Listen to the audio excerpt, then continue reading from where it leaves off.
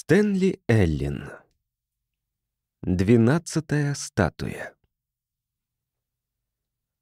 Прочитано благодаря поддержке слушателей Puffin Cafe на сервисах Boosty и Patreon.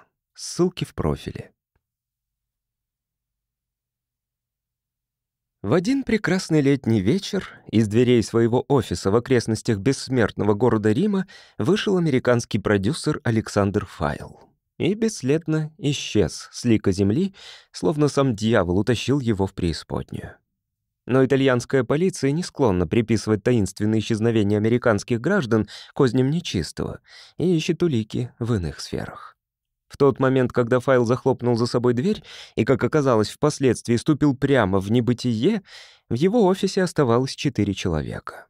Одним из них был Мел Гордон — Поэтому, обнаружив в своем почтовом ящике в отеле повестку с вежливым приглашением явиться в полицейское управление к комиссару Адаарда Учи в связи с расследованием дела файла, Мел не удивился. За завтраком он показал повестку жене. «Скажи, пожалуйста, сам комиссар», — мрачно произнесла Бетти, пробежав глазами текст. «Что ты ему скажешь?» По-моему, лучший способ поведения в такой ситуации — отвечать на все вопросы просто «да» или «нет», а свои личные соображения оставить при себе. Майло затошнило от одного вида, стоявшей перед ним чашки кофе с булочкой. «Тебе придется подвести меня. Вряд ли я смогу вести машину в таком состоянии, да с этим сумасшедшим движением». При виде кабинета комиссара Учи самочувствие Мэла нисколько не улучшилось. Комната была мрачной и производила гнетущее впечатление, словно операционная в захудалой больнице. Стены от пола до самого потолка облицованы грязными белыми плитками, а в углу, над сплетением паровых и водопроводных труб, торчала раковина с краном, из которого медленно по капле сочилась вода. Комиссар как нельзя лучше вписывался в обстановку. Лысый толстяк с сонными глазами, одетый в помятый мундир со сбившимся на бок галстуком — он задавал вопросы на правильном английском языке и старательно записывал ответы карандашом, на котором явственно виднелись следы зубов. «Сублимация», — подумал Мел. «Он лишён возможности грызть посетителей, поэтому грызет карандаш». Но пусть эти сонные глаза не обманывают тебя, парень. За ними может скрываться проницательный ум. Итак, строго придерживайся фактов и сведи до минимума невинную маленькую ложь. Сеньор Файл был исключительно кинопродюсером, он не имел других деловых интересов. Совершенно верно, комиссар. Действительно, так оно и было.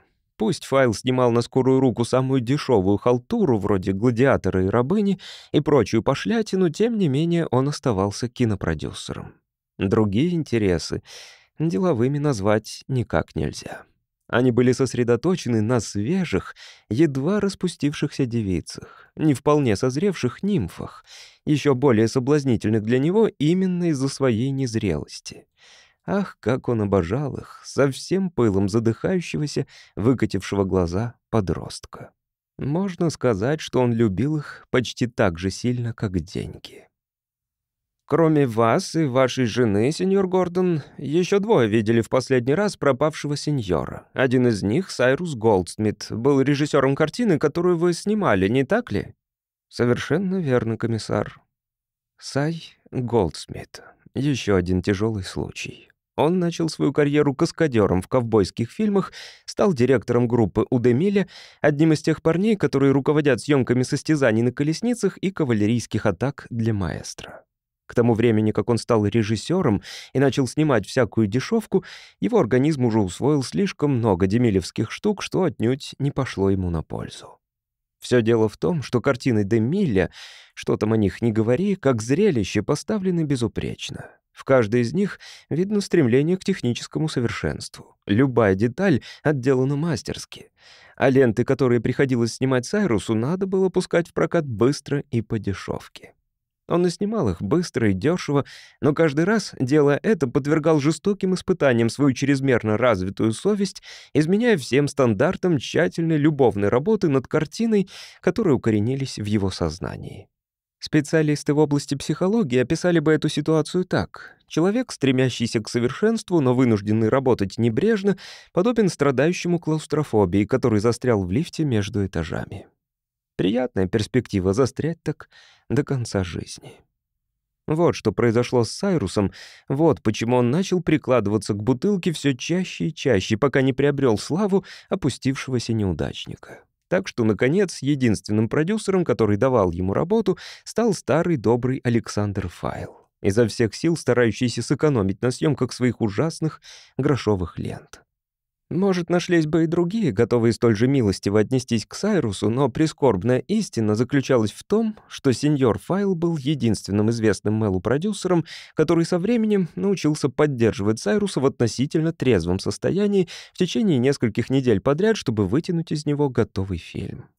Было не очень-то приятно наблюдать, какими методами он добивается этого, разве что вам нравится смотреть, как садист-дрессировщик заставляет престарелого льва проделывать свои трюки. Такие, как файл, умеют превращать слова в орудие пытки. Так как файл был плюгав и тощ, а Сай высок и мускулист, ему, конечно, доставляло извращенное удовольствие издеваться над беспомощно смотревшей на него сверху вниз несчастной жертвой. Это могло играть не меньшую роль в том, что он поручал Сайрусу съемку одного фильма за другим, чем тот бесспорный факт, что Сай всегда выжимал все возможное из дрянного сценария и выдавал сносный фильм за самую низкую цену. «Относительно этого Сайруса Голдсмита, сеньор Гордон?» «Да. Он был в плохих отношениях с пропавшим сеньором?» «В общем-то, нет». Комиссар Уччи провел по носу коротким, словно обрубленным указательным пальцем. Примерно каждые пять секунд в раковину звучно падала капля воды. С каким многозначительным видом он трёт себе нос. Или нос у комиссара просто чешется. «А другой сеньор, который был с вами тогда, этот Генри Маккарон, в чем заключались его обязанности?» Он руководил операторской группой в этой картине. Вернее, руководит. Мы хотим закончить картину. Даже без сеньора Файла? Да. Ах, вот как. А эти Макарон и Голдсмит долго работали вместе, не так ли? Да. Очень-очень долго, комиссар. Если быть точным, со времен Демиля, когда Зай впервые дал Мак Аарону возможность взять в руки камеру. С тех пор они неразлучны. Между прочим, Генри чертовски талантливый оператор. Он мог бы с таким же успехом работать на себя, если бы не считал делом всей жизни таскаться всюду за своим любимым Саем и нянчиться с ним во время запоев последнего. «А вы сами, сеньор Гордон, автор сценария для сеньора Файла?» «Да». «Да», потому что нет смысла объяснять этому полицейскому с лицом цвета сырого теста разницу между автором сценария и тем, кто потом обрабатывает этот сценарий. Если уж говорить об этом, то невозможно определить, кто истинный автор любого сценария. Человек, написавший никуда негодный оригинал, или терпеливый страдалец-профессионал, который должен превратить в сияющую вершину маленький кротовый холмик, созданный воображением неумелого автора. Комиссар Учи снова медленно и задумчиво потер нос. «Когда вы все в тот вечер находились с сеньором Файлом в его офисе, между вами не произошел какой-нибудь спор, острый конфликт?» «Нет». «Так, тогда возможно ли, что сразу после своего ухода он имел спор с кем-нибудь другим, работавшим над картиной?» «Ну, что касается этого, комиссар, Час спустя Мэл наконец вырвался наружу на омытый благословенным солнечным светом дворик, где в «Фиате», взятом на прокат, ждала его Бетти. «Быстрее жми в горы», — сказал он, забираясь на заднее сиденье. «За нами погоня?» «Очень остроумно. Ну, как там?» «Думаю, все в порядке». С него градом лил пот. Зажигая сигарету, он заметил, что дрожат руки, и он не может унять дрожь. Он был не очень-то любезен. Ловко маневрируя, Бетти прорвалась сквозь поток машин к въезду на мост через Тибр. Когда они очутились на другом берегу, она произнесла. «Знаешь, я вполне могу представить, что чувствует полиция. От этого же можно свихнуться. Человек не может просто взять и исчезнуть, как наш Алекс. Просто не может. Мел, так не бывает?» «Конечно, не бывает. И все таки он исчез. Но куда он делся? Где он? Что с ним случилось? Не знаю. Это чистая правда, детка. Можешь поверить каждому слову». «Я верю. Господи, зачем только Алекс послал тебе этот сценарий?» Конечно, все началось с того, что файл отправил авиапочтой из Рима в Лос-Анджелес сценарий. Это было полной неожиданностью, потому что несколько лет назад Мел твердо решил навсегда порвать с файлом и заявил ему об этом тут же во время съемок. А файл не обратил на его слова никакого внимания, давая понять, что он не принимает это всерьез. Решение послать ко всем чертям файлы и работу, которую он подкидывал время от времени, не было простой бравадой. Телесериал, который пестовал Мел, окреп и набрался сил, как показал последний рейтинг. Имея в своем активе столь популярный сериал, он мог надеяться на спокойное, обеспеченное будущее. Его ожидания оправдались. Фильм шел с успехом, а когда решено было больше серий не снимать, телевидение стало платить за повторные показы. И значит, у Мэла не было необходимости снова начать работать на файлы или даже помышлять о сотрудничестве с ним. А теперь он вдруг опять понадобился файлу.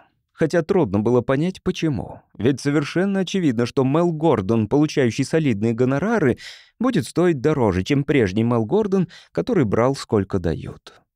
В конце концов, они с файлом пришли к компромиссу, от которого, как обычно, выиграл файл. Хуже всего, что он знал слабость Мэла, его пристрастие к возне с никуда не годными сценариями и понимал, что если Мэл хотя бы пролистает невероятно слабый сценарий «Император страсти», то привлеченный именно его слабостью попадет на крючок. А если уж попадет на крючок, то его без особых трудов можно будет запрячь в работу. Так оно и вышло. Голливудский юрисконсульт файла, местная знаменитость, открыто презирающий файлы, и поэтому, как это часто бывает, единственный человек в мире, которому файл доверял, подготовил контракт, и прежде чем на документе высохли чернила, Мел в сопровождении жены со сценарием «Императора страсти» под мышкой отправился в путь на встречу с файлом. Встреча состоялась в уличном кафе на Виа Венетто. Вокруг за столиками под лучами июньского солнца, изящно демонстрируя свое утомление жизнью, собрались филиниевские типажи и туристы, неизящно глазеющие на онах. Кроме Мэла и Бетти, за их столиком было четверо. Сам Файл, такой же щуплый, бледный и остролицый, как всегда. Когда Мэл видел его в последний раз, в его волосах только пробивалась седина, теперь они совсем побелели. Сай Голдсмит, иссохший и угловатый, глаза с похмелья мутные. Угрюмый Макаарон, вечно прищуренный, словно постоянно выбирал самый выигрышный ракурс для съемки. А также полностью завладевшая вниманием туристов крупная грудастая Ванда Перикола, вульгарный вариант Софи Лорен. Как оказалось, она получила главную роль в фильме. Шестеро за столиком, четыре компари, двойной виски для Сайруса и чашка чаю для Файла. Проведя большую часть жизни за границей, Файл, тем не менее, не признавал иностранных блюд и напитков. Встреча была короткой и деловой. Файл с явным нетерпением уделил минимум времени на формальности. Достаточно, по его мнению, для того, чтобы возобновить старое знакомство и представить Ванду, которая знала английский ровно настолько, чтобы сказать «Hello». Затем неожиданно он обратился к Мелу. «Что ты успел сделать со сценарием?» «Со сценарием? Алекс, мы приехали только сегодня утром». «Какое это имеет значение? Раньше стоило тебе лишь поглядеть на сценарий, и ты уже извергал идеи. Стало быть, роскошная жизнь за счет этого идиотского сериала по ящику погубила такой блестящий талант». В свое время, когда оплата счетов за квартиру и продукты и покупка машины зависела от интонаций файла, Мел был кроток, как ягненок. Но теперь, ободренный мыслью о гонорарах, текущих из телевизионного рога изобилия, Мел бывал храбрым, как лев. «Знаешь что, Алекс, если мой блестящий талант погиб, ты оказался в очень трудном положении, потому что сценарий просто ужасный. Ну уж, в него просто нужно внести пару поправок. Нужно написать совершенно новый сценарий, чтобы придать хоть какой-нибудь смысл этой бессвязной болтовне. Когда я прочел этот бред, то сразу же принялся за поиски жизнеописания Тиберия в исторических сочинениях. Что ж, чувствительно благодарен за это. И я точно знаю, как создать образ человека, которого сводит с ума власть, подозрительность и сластолюбие, пока он окончательно не теряет рассудок и не забивается в этот дворец на Капри, где каждый день устраивают оргии. И ключевая сцена будет там, где он окончательно сходит с катушек. «Ну и что? Все это есть в сценарии, разве не так? Сейчас все это сделано совершенно, наверное, банально. Если он будет бесноваться и грызть ковер, фильм превратится в дешевый балаган. Но представим, что никто вокруг не замечает, что Тиберий сошел с ума. И если только до зрителей дойдет, но... Файл, стараясь казаться безучастным, был, однако, заинтригован. А как это показать? А вот так. В портике у спальни Тиберия в его дворце мы поставим несколько мраморных статуй в натуральную величину. Скажем, полдюжины для ровного счета. Шесть статуй. Изображения великих граждан Рима, как у них там было принято и мы будем постоянно подчеркивать, как он почитает эти мраморные изваяния, например, всякий раз, проходя мимо них, он гордо расправляет плечи. А потом настает решительный момент, когда он уже окончательно свихнулся. Как мы поставим эту сцену? Выходим из спальни вместе с ним, камера движется мимо статуи, мы смотрим на них его глазами. И то, что мы видим, — это его безумие, запечатленное на мраморных лицах. Понятно, Алекс? Лица этих статуй, на которые смотрит Тиберий, теперь уродливо и страшно искажены. Это отражение безумия, полностью овладевшего Тиберием. Вот и все. Несколько метров пленки, и цель достигнута. «Цель достигнута», — повторил Сай Голдсмит. Осторожно, чтобы не закружилась голова, он повернулся к Макарону. «А ты что скажешь?» «Мак, Макарон проворчал «сойдет», что для него было не только достаточно длинной речью, но и знаком наивысшего одобрения. «Сойдет», — с беспокойством произнесла Ванда. «Ке сучеда». Как понял полный сочувствия Мел, она жаждала слышать свое имя из уст людей, от которых зависела ее судьба. Совершенно естественно, что она выглядела разочарованной после того, как Бетти объяснила ей по-итальянски в его сан-франциском варианте, о чем идет речь. Но главное — реакция файла, и Мел напряженно ждал. «Статуи», — сказал наконец тот с явным неудовольствием. «Двенадцать статуй, Алекс», — решительно сказал Мел. «Шесть нормальных и шесть психов. Шесть до и шесть после. Это ключевая центральная сцена. Не экономь на ней. Ты знаешь, сколько такая работа может стоить? Посмотри на наш бюджет. «Да пошлите вы к черту бюджет», — возразил Сай. «Эта сцена может изменить весь фильм, Алекс. Так, как я ее вижу». «Ты...» Файл повернулся к нему, открыв рот, словно пораженный его вмешательством. Голос был таким пронзительным, что заглушал шум машин, проносящихся за его спиной. «Ты сейчас так нагрузился, что не увидишь и собственную руку, даже поднеся ее к носу, алкоголик несчастный. Ты да ты пьян даже теперь, когда мы вот-вот начнем съемку. А теперь иди и постарайся протрезвиться хотя бы к следующей неделе. Слышал меня? Убирайся!» Все прочие за столиком, включая, как заметил Мел, даже Ванду, ловившую смысл происходящего, смущенно замерли. Сай зажал в кулаке пустой стакан, словно намереваясь раздавить его, потом неуверенно поднялся на ноги и, пошатываясь, пошел по улице, сталкиваясь на ходу с прохожими. Когда МакАарон поднялся, чтобы последовать за ним, Файл резко спросил. «Куда это ты? Я ведь еще не сказал, что отпускаю тебя, верно?» «Разве?» — сказал МакАарон и тоже удалился. Файл презрел этот маленький мятеж. «Замечательная команда. Проспиртованный бывший гений и его сиделка. Приятно быть связанным с ними одной веревочкой. Он взял свою чашку и стал отхлебывать чай, изучая Мэла из-под опущенных век. «Во всяком случае, статуи исключаются». «Они включаются, Алекс. Все двенадцать. В противном случае я буду очень долго работать над сценарием». В прежние времена Файл ударил бы кулаком по столу, чтобы прекратить всякие споры. Теперь же, как понял Мел, наблюдая за тем, как он смакует свой чай, не будет никаких ударом кулаком по столу. «Если я отвечу «Окей», — сказал Файл, «ты должен к завтрашнему дню подготовить мне краткое изложение нового сценария. Договорились? Дашь мне новый сценарий, а я дам статуи». Это была его манера торговаться, ибо Файл никогда ничего не давал даром. И хотя Мелу предстояла долгая ночная работа, он произнес полное ощущение своей победы. «Я приготовлю его для тебя завтра». Впервые с тех пор, как он имел дело с файлом, он не позволил нокаутировать себя упоминанием этого священного слова «бюджет». Когда они с Бетти вышли из кафе, даже воспоминание об отвратительной сцене с Сайрусом не могло омрачить радость от сознания того, что он заставил файл раскошелиться на несколько тысяч долларов больше, чем того позволял драгоценный бюджет. В конце концов, говорил себе Мел, вряд ли Сай в его нынешнем состоянии, имея при себе круглосуточно Макарона, нуждается в другом утешителе. Вернувшись к себе в отель, Мэл улегся на кровать со сценарием. Название «Император страсти» было явно придумано файлом, а Бетти замерла у пишущей машинки в состоянии боевой готовности в ожидании, когда ее супруга посетит вдохновение.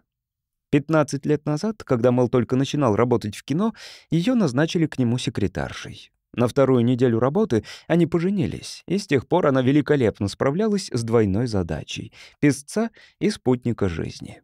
Они были женаты так давно, что понимали друг друга с полуслова.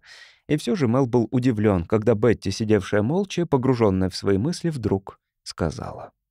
«Нет, это не она». «Что?» «Не Ванда. Не ее он выберет в подружке месяца. Не с ней он будет спать». «Это их проблема. Но почему ты так в этом уверена?» «Прежде всего, для него она слишком стара». «Да ей же всего 20 или 21. Она уже вышла из школьного возраста, а значит, для него уже переспела. Я думаю, Алекс выбирает Алис из «Страны чудес», потому что боится настоящих женщин. Ну и? Ты знаешь, что я хочу сказать. Сколько раз мы наблюдали это раньше. Рано или поздно он появится с какой-нибудь маленькой Алисой с большими круглыми глазами. И уж извини за страшно оригинальную мысль, шестидесятилетний мужчина, вышагивающий по Виа Венетту с ребенком, первый раз надевшим высокие каблуки, это, по-моему, просто непристойно. Или когда он сидит рядом с нами и строит ей глазки и показывает, какой он большой босс, унижая кого-нибудь вроде Саи. «Вот как. О ком же ты больше заботишься, о новой Алисе или о Сайрусе?» «Мне жаль обоих. Мел, в свое время ты говорил, что больше никогда не будешь работать на Алекса. Почему ты все таки принял его предложение?» «Чтобы поставить его на место, как, например, в случае со статуями. Я должен был сделать это для блага души своей, дорогая моя, и считаю, что сильно запоздал. А кроме того, потому что «Нью-Йорк Таймс» заявила, что последний сценарий, который я сделал для Алекса, выполнен на удивление добротно. Может быть, я сумею заставить их повторить эти слова. Да, но все таки все таки лето обещает стать жарким. Нам будет не до Сайруса, Алисы в «Стране киночудес» и всего прочего. Сейчас нам надо подготовить хоть какой-нибудь набросок. Завтра мы должны отправиться в Чиничету, посмотреть, с какими декорациями нам придется работать. А потом займемся штамповкой эффектных диалогов. Так что нам некогда будет думать о чужих проблемах. «Конечно, пока все живы», — сказала Бетти. «Бедный Сай. В один прекрасный день он убьет Алекса. Вот бы посмотреть эту сцену». Чиничита — Голливуд в окрестностях Рима, где Файл снимал почти все свои фильмы. Но когда Мел позвонил ему, предложив встретиться там, тот наотрез отказался. Картина будет сниматься в нескольких милях к югу от Рима, сразу за форте Аппия на Виа Аппия Антика, старой Аппиевой дороги. Это соглашение, судя по рассказу Файла, было одной из его типичных манипуляций. Компания Pan Italia Productions разместила здесь декорации для постановки грандиозного фильма о Святом Павле, и когда фильм был закончен, файл за гроши снял в аренду площадь, декорации и прочее, с условием, что после завершения съемок все приведет в порядок. То, что декорации могли совершенно не подойти к сценарию, который купил файл тоже за гроши, совершенно его не волновало. Они имели отношение к истории Рима, и этого было достаточно.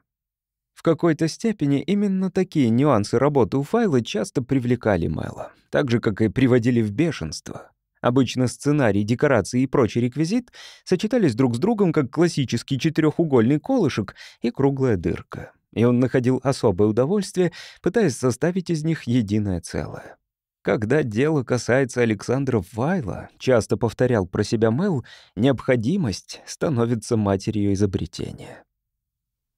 На следующий день они с Бетти взяли на прокат машину и отправились к месту съемки посмотреть, что можно изобрести из того, что пан Италия оставила для них. Они проехали в направлении порто Сан-Себастьяна мимо катакомб по узкой старой римской дороге, пролегающей среди пышной зелени. И, наконец, добрались до некоего сооружения, изображающего форум времен Цезаря, которое возвышалось на лугу в полумиле от дороги. За ним находились различные службы, лабиринт зданий, окружающих постройку размером с небольшой авиационный ангар. Очевидно, там производилось озвучивание фильма. Все это было обнесено проволочным заграждением высотой в 10 футов. У ворот стоял охранник, парень бандитского вида с пистолетом на бедре, который устроил целое представление из проверки документов. Оказавшись внутри, они без труда нашли штаб файла, который помещался в ближайшем от ворот здании. Перед ним стояло несколько машин, и среди них большой открытый кадиллак файла. Единственным признаком жизни на всей съемочной площадке были глухие удары молотка, раздававшиеся из глубины ангара.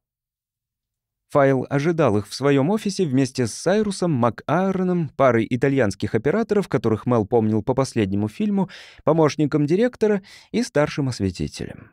Сайрус как-то сказал Мелу, что никто из них не знает как следует своего дела. Демиль не взял бы их даже в уборщики. Но они стоили дешево и понимали по-английски, а больше от них ничего не требовалось. Мэл обнаружил, что церемония начала работы у файла нисколько не изменилась со временем. «Хорошо, хорошо, давай посмотрим», — сказал ему файл безо всяких предисловий. И когда Мэл вручил ему свой текст, невнимательно прочел его и сказал. «Ладно, это подойдет. Когда у тебя будет готов какой-нибудь материал, чтобы начать съемку? «Примерно через неделю». Еще чего, сегодня пятница. В понедельник утром Ванда и остальные актеры, занятые в главных ролях, явятся сюда рано утром вместе с кучей статистов для массовки. Значит, в понедельник утром к восьми ты будешь здесь с материалом, достаточным, чтобы Голдсмит работал пару дней. И приготовь несколько сцен в интерьере на случай, если будет дождь, чтобы никто не сидел без работы и не получал деньги даром. «Послушай, Алекс, давай выясним кое-что раз и навсегда». «Давай, сынок, а выясним мы вот что. Мне наплевать, как ты там отличился на телевидении. Когда ты работаешь на меня, ты выдаешь материал так же, как всегда.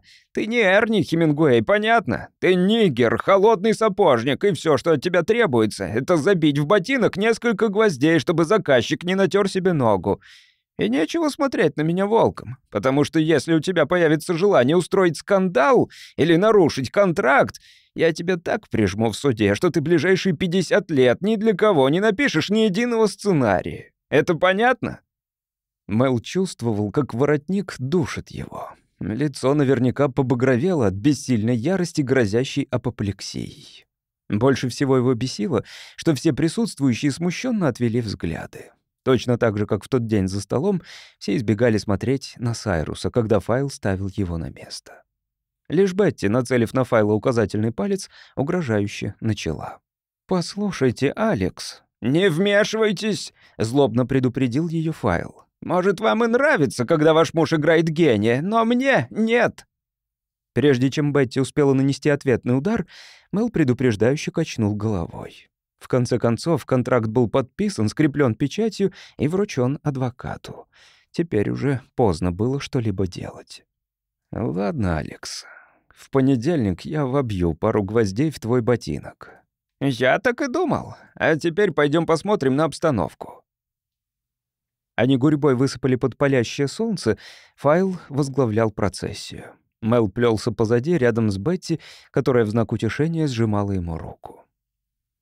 Пан Италия покрыла эту часть площадки жесткой кожурой асфальта, чтобы не было грязи и пыли.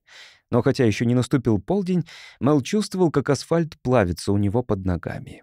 Почти все в Риме закрывают лавочки и соблюдают сиесту в жесткую полуденную жарищу. Но Александра Файла, разумеется, сиеста исключалась. Рядом с Мелом шагал Сай Голдсмит. Казалось, он изнемогал от жары. Вчерашняя краснота сошла с его лица, оно было желтым с красными прожилками, а губы приобрели нездоровую синеву. Но глаза были ясными. С них сошла мутная пелена, а это означало, что Сай, по крайней мере временно, не прикладывался к бутылке.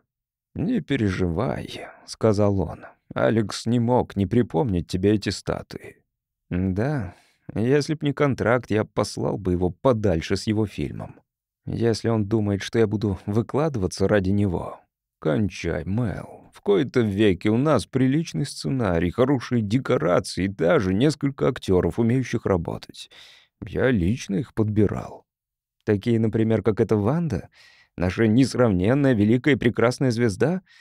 Уж мне-то такого не говори, Сай. Какой игры ты ждешь от актрисы, у которой роль записана по-английски в транскрипции? Я заставлю ее играть как надо. Только не теряй вкус к работе из-за Алекса, Мел. Ты ни разу еще нас не подводил. Сейчас никак нельзя этого делать». Мэла едва не стошнила от умоляющего тона Сайруса. Мало того, что этот медведь много лет покорно глотал все, чем кормил его Алекс... Господи боже мой, неужели он еще благодарно лежит Файлу руки за это?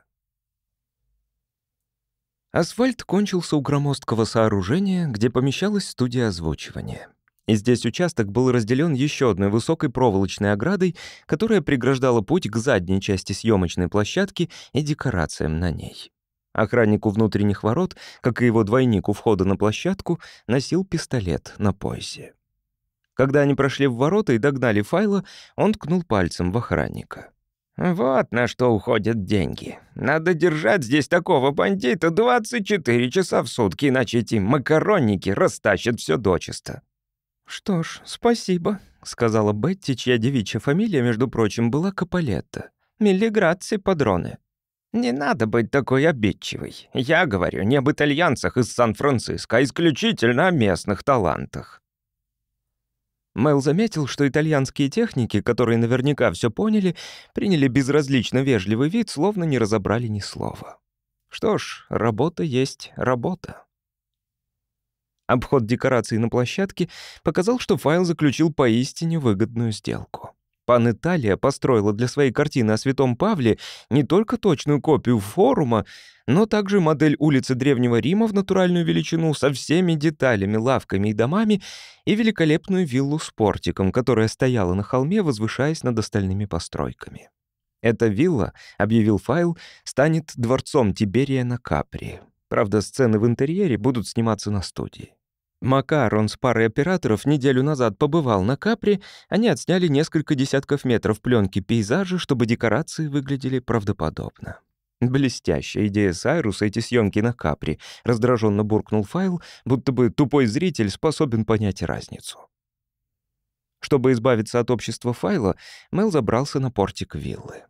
Стоя здесь, оглядывая форум, пини и кипарисы, обрамляющие Апиеву дорогу, он мог различить плавные очертания холмов Альбана на горизонте. Им овладело чувство, что перед ним раскинулся древний Рим, восставший от многовекового сна. Солнечный зайчик от проезжавшей машины чуть было не разрушил это впечатление, но это вполне мог быть отблеск солнца на полированном панцире римского воина, направлявшегося на колеснице на юг в Остию. К нему подошел Сайрус и вопросительно посмотрел на него. «Как тебе это нравится?» «Очень нравится». «Соответствует эпохе Тиберия. Понимаешь теперь, что я имел в виду, когда говорил, что наконец-то сделаем настоящий, без халтуры фильм? Если, конечно, все будет сделано как надо. Только не мы. Выше головы не прыгнешь. Чтобы снять такой фильм, Нужно много раз переделывать, переписывать, переснимать. 3П. Ты знаешь, как к этому относится Алекс? Да, но мы можем драться за каждую мелочь. Это точно. Мел, скажу тебе прямо, это последний мой фильм. Хочешь — верь, хочешь — нет. Ерунда. Сайрус криво улыбнулся. Нет, если верить тому, что говорят врачи. Мак знает, можешь сказать Бетти, но вообще это между нами. Внутри у меня все прогнило. Он похлопал себя по отвисшему животу. Будет чудо, если машина не развалится до конца работы над фильмом. Не то, что до будущего года. «Вот, значит, в чем дело», — думал Мел. «Неужели, прожив долгую и трудную жизнь, человек способен на такие сантименты?» Это объясняло все. Сай Голдсмит умирал. Ему оставалось жить недолго, и этот фильм должен был стать его лебединой песней. Лучшим фильмом, несмотря на все штучки файла. «Слушай, Сай, врачи могут ошибаться. Если бы ты вернулся в Штаты и показался специалистом, хотя бы в клинике Майо, Именно там мне это и сказали, Мэл. Открытым текстом. Настолько открытым, что прежде чем лететь сюда, я заглянул в Лос-Анджелес и условился, что когда придет время, меня похоронят на кладбище Райский парк. Большой склеп, красивый гроб и все такое прочее. Самое интересное, что подписав все эти бумаги, я почувствовал себя гораздо лучше. Я тогда понял, почему древние римляне и египтяне так любили удостовериться, что все готово к самому главному дню. Это заставляет посмотреть правде в глаза, после чего можно спокойно жить дальше. По крайней мере, до того, пока картина не будет сделана так, как тебе хочется, подумал Мел. Если разобраться, Сайрус оказал ему величайшую честь. Ведь многое зависело от сценария, и над ним пригласили работать его, Мэла Гордона. «Скажи, Сай, это была твоя идея, чтобы за сценарий взялся я, а не Алекса?» «Да, моя. Разве это не доказывает, что когда надо, я могу выиграть бой с Алексом?» «Вроде бы да. Теперь нам остается выиграть всю войну». И это действительно была война, хоть и без стрельбы. Как только файл получил первый вариант сценария и на его основе составил программу съемок, до него быстро дошло, что творится что-то непонятное. После этого жизнь стала сущим адом для всех занятых на съемках императора страсти. В том числе, как не без злорадства отметил Мел и самого файла. Впервые в жизни файла съемки его фильма отставали от программы. Сайрус с мрачным видом требовал снимать дубль за дублем, пока не получал сцену, которая его удовлетворяла. Он муштровал орды варваров и римские легионы на полях за пределами съемочной площадки, так что те, в конце концов, пригрозили взбунтоваться. Заставлял Мэла переписывать одну сцену за другой, пока диалоги не становились доступными ограниченным возможностям актерского состава, не теряя при этом ни выразительности, ни смысла. Кстати, все заговорщики выполняли двойные обязанности. Мэл обнаружил, что в промежутках между сочинительством занят режиссурой съемок среднего плана. Макарон взял на себя свет и звуковое оформление, невзирая на громкие протесты оскорбленных представителей профсоюза. Даже Бетти, которая трудилась бесплатно, проводила долгие часы с Вандой, заставляя ее произносить слова роли, так что в конце концов они не могли видеть друг друга. Долгий рабочий день обычно завершался в кинозале, где съемочная группа собиралась в изнеможении, чтобы просмотреть последние отснятые кадры. А файл, усевшись в отдалении в холодной ярости, отпускал язвительные замечания об увиденном на экране и о том, во сколько ему это обошлось. По мнению Мэла, самым нелепым было непонимание файлом происходящего. Он наотрез отказался поверить объяснениям Бетти во время бурной и бесплодной беседы наедине. По мнению Файла, они злонамеренно сорили деньгами, занимались саботажем, разоряя его, о чем он давал им знать при любом удобном случае. Ему не давало сделать большего его собственная мелочность.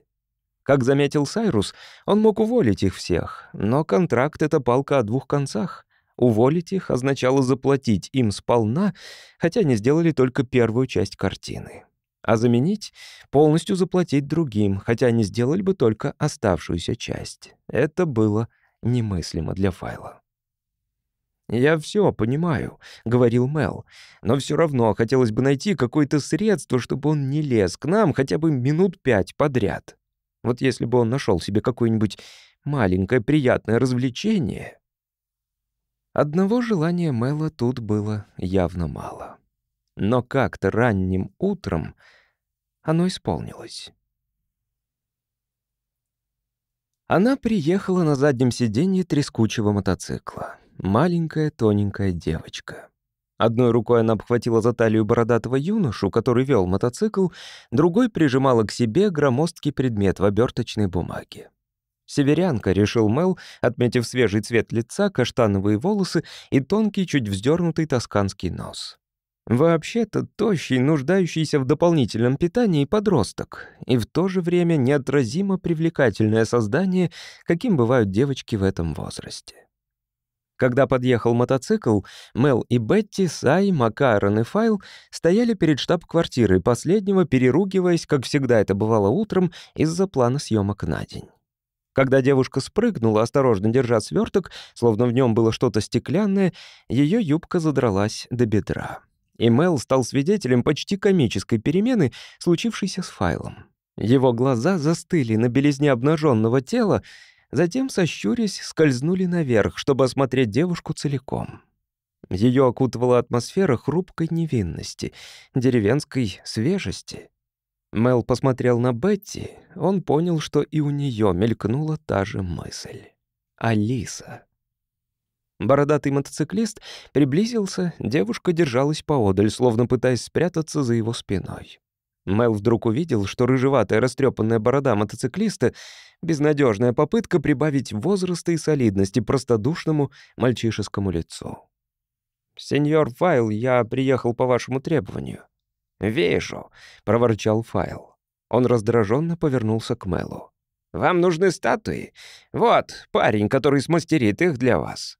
«Пауло Варезе», — сказал юноша. «А это моя сестра Клаудия». Он завел руку за спину и поставил девушку перед собой. «Чего ты боишься, глупая девчонка?» — поддразнил он ее. Ее можно извинить», — сказал он. Она только месяц назад приехала из кампа Фридда, и здесь все для нее новое. Все производит на нее очень большое впечатление. «А где это кампа Фридда?» — спросила Бетти. «Возле Луки, там, в горах». Пауло презрительно усмехнулся. «Известное дело, 20 человек на 40 коз — такое вот место». Папа и мама разрешили Клаудии приехать ко мне в Рим, где она сможет найти приличную школу, потому что она хорошо училась у себя дома.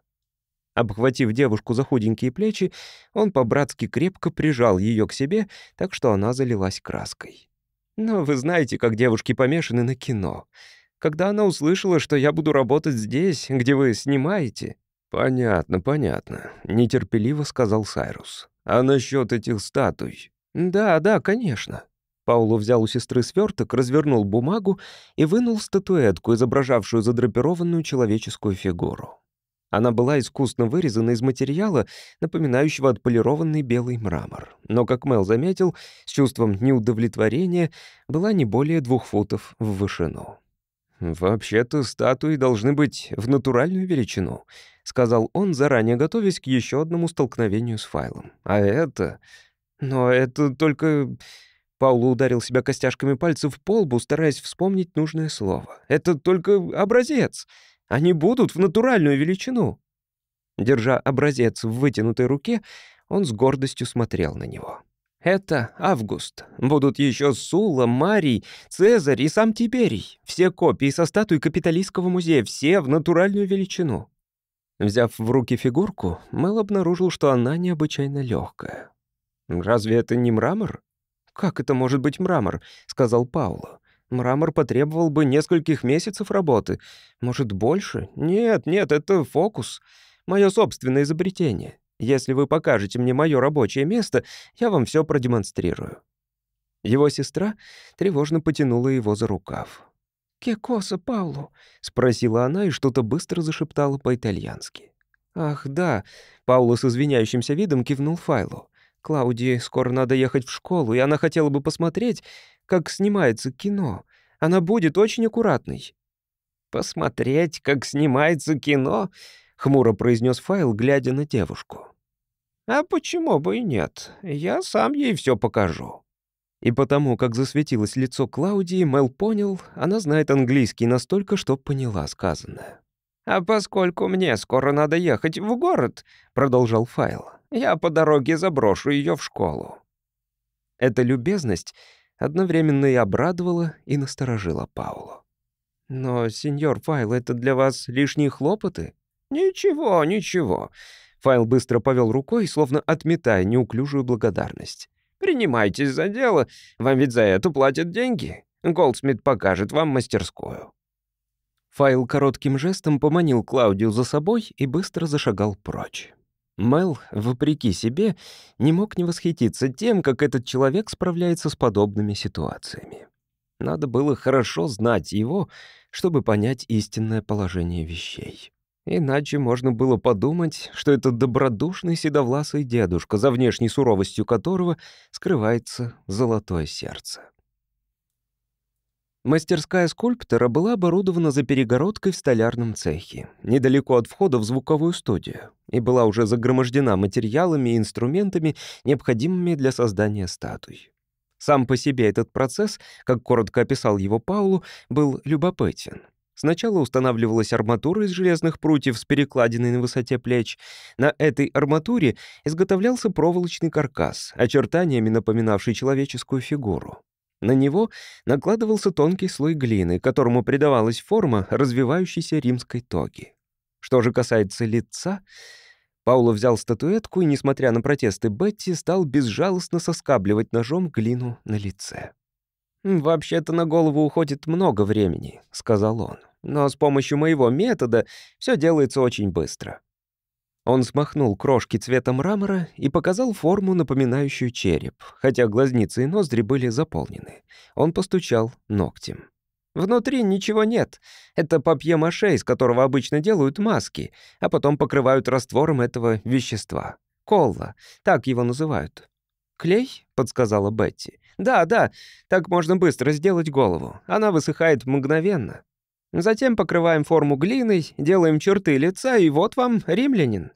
«А почему это так удивительно похоже на мрамор?» — спросил Сай.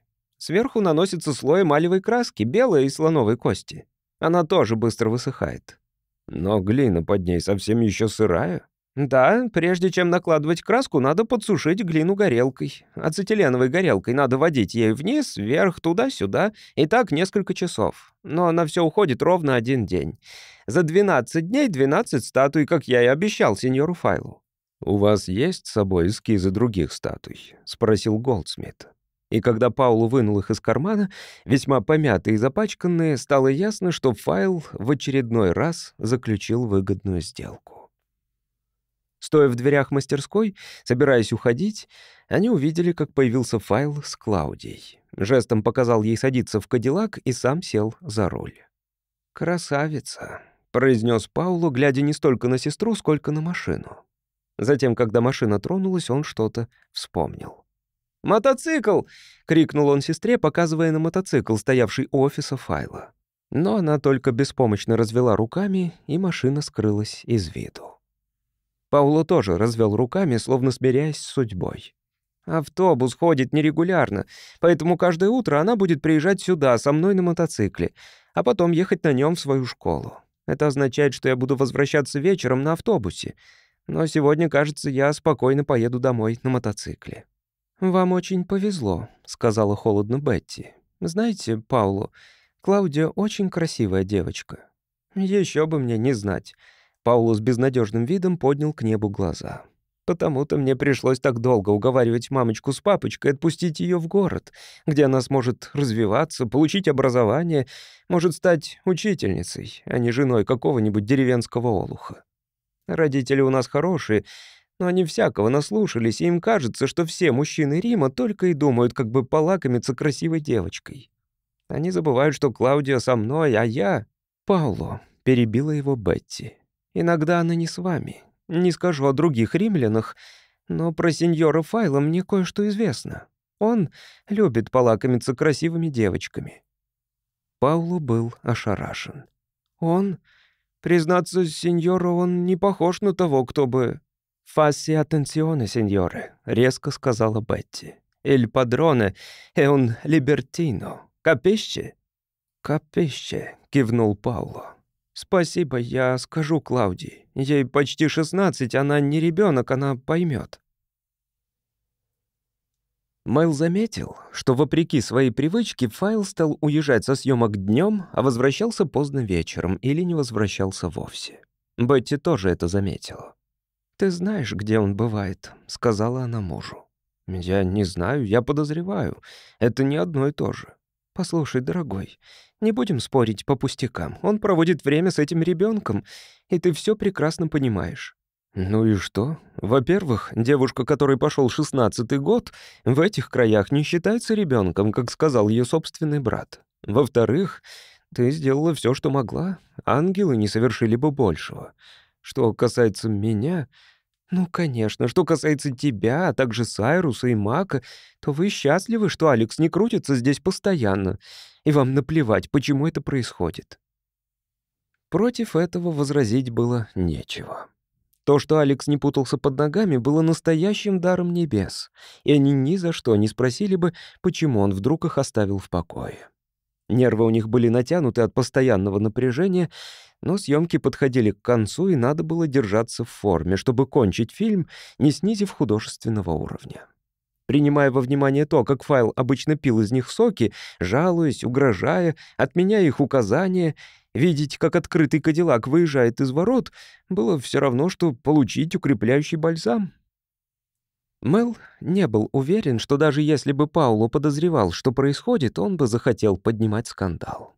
Работа над статуями, как он сам признался, дает ему заработок, достаточный, чтобы протянуть до лучших времен. Как удачно, что сеньор Файл попросил художественный институт порекомендовать человека, который сделал бы все за минимальную плату. Ведь порекомендовали его, Паулу, год назад с отличием закончившего этот институт. Большая удача. Молодому скульптору, не имеющему покровителя, зарабатывать нелегко. Денег у родных не было, приходилось приниматься за любую работу, лишь бы наскрести денег, чтобы внести очередную плату за жилье. Но теперь... С самого утра и до позднего вечера, голый до пояса и обливающийся потом, Пауло увлеченно работал над статуями, и их одну за другой отвозили на тележке в студию и устанавливали на место будущей съемки. Первые шесть, с торжественно окаменевшими лицами, хорошо смотрелись на пробных съемках. Следующие, с лицами искаженными безумием, были даже еще лучше.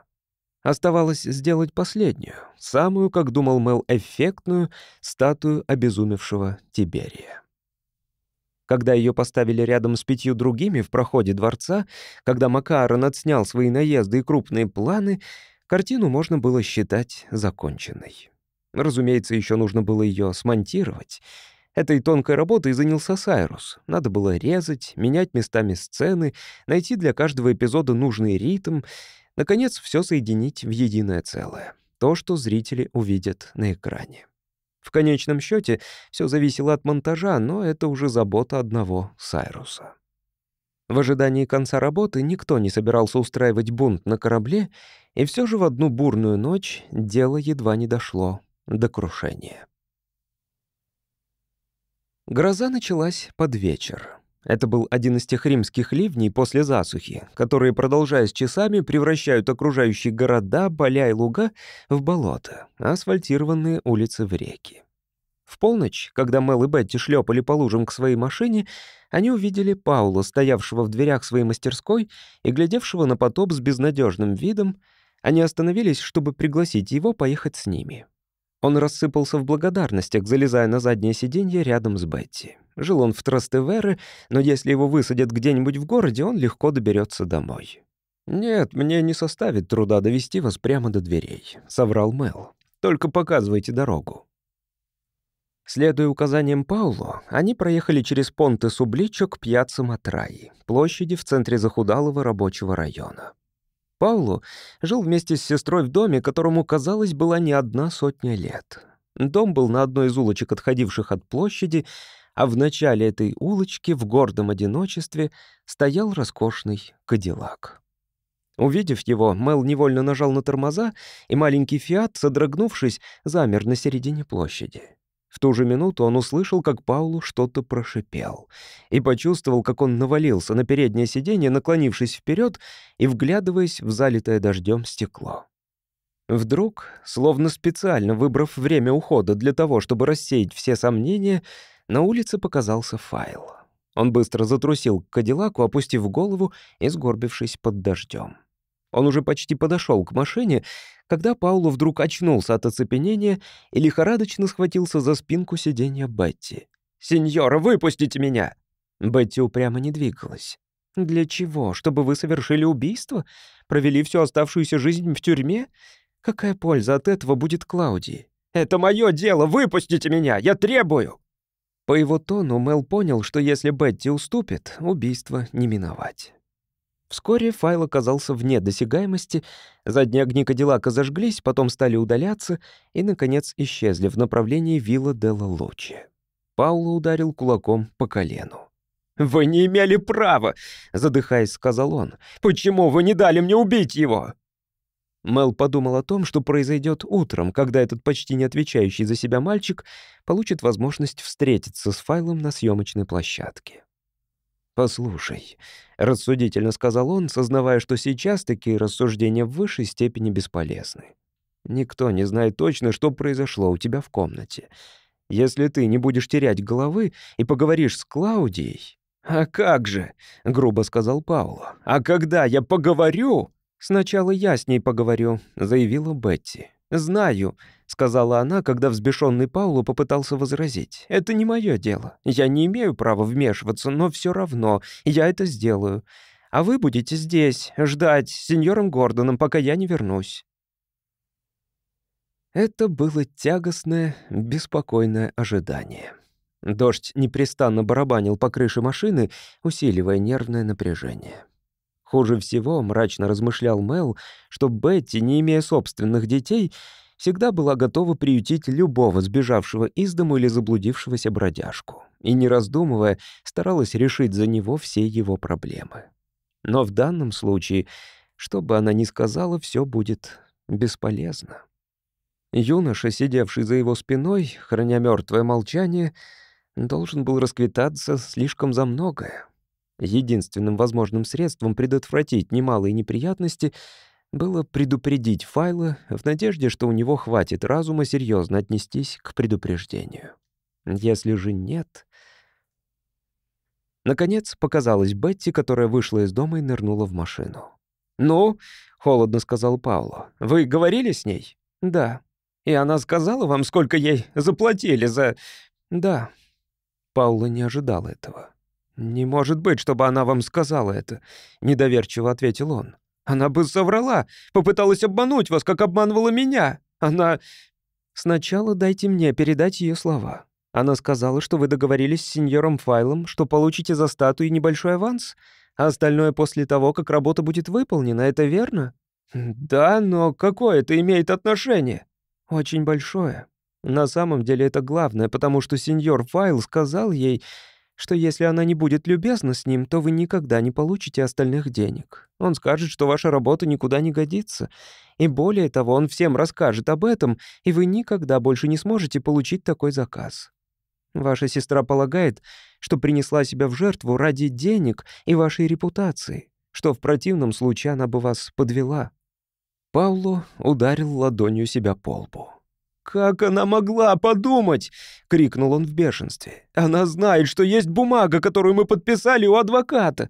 Как она могла поверить в такую ложь?» «Потому что она только ребенок. Некому было дать ей совет. И когда вы подниметесь к ней, то должны сделать вид, что все понимаете. Вы сделаете это?» «Но, сеньора, сделайте?» «Да, я все сделаю, но этот человек...» «Пауло, послушайте меня. Я понимаю ваши чувства, но все, что бы вы с ним не сделали, приведет только к скандалу, который заденет Клаудию. Все, что бы ни случилось, попадет во все газеты. Как после этого девочка сможет вернуться в школу? Разве она когда-нибудь сможет вернуться домой в Кампофрида? Все будут глазеть на нее и сплетничать. Даже если вы подадите на него в суд... Даже так, — с горечью сказал Пауло. Он положил ладонь на ручку дверцы. «Но я задерживаю вас своими делами». И когда Бетти неохотно наклонилась вперед, чтобы юноша мог выйти из машины, он добавил.